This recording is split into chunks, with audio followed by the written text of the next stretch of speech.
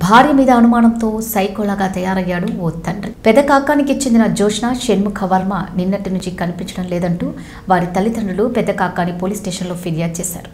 కాగా తాడేపల్లి బకింగ్హామ్ కెనాల్లో తండ్రే తోసి చంపినట్లు పోలీసుల ఎంక్వైరీలో నిర్ధారించారు.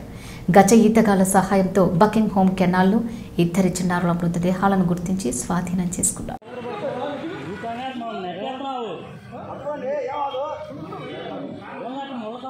ఉన్నాయి పిల్లలు తీయాలని మేము చూస్తుంటే నేను కంగారు పడేదేంటి కంగారు వీడియో. కూడా చక్కలేకమైపోతాయి ఏ? నువ్వేమనుకున్నా మేము? ఎందుకు వచ్చా మేము? పని లేకుండా వచ్చా. ఏ వచ్చావా? ఏం మాట్లాడుకున్నా